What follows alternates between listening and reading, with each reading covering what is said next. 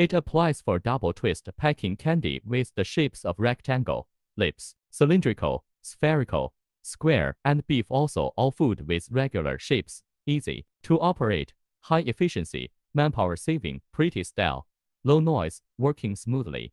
Main core part of this machine adopts imported, new style, high density, cam indexing unit and cam gear can reach exact movement, AC motor.